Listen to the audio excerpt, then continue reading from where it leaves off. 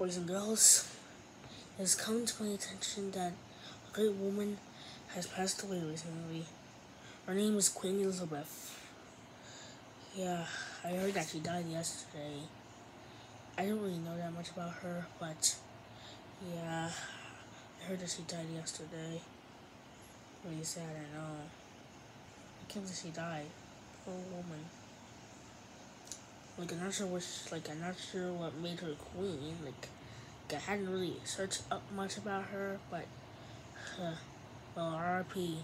Queen Elizabeth, 1926 to, to, to 2022. I heard that. Well, I did. Well, I did research her in school, by the way, and I and it said and it showed that she was born in 1926. So yeah, Queen Elizabeth. Queen Elizabeth. May she rest in peace. Can't believe she died. Well, now all we can do is have silence.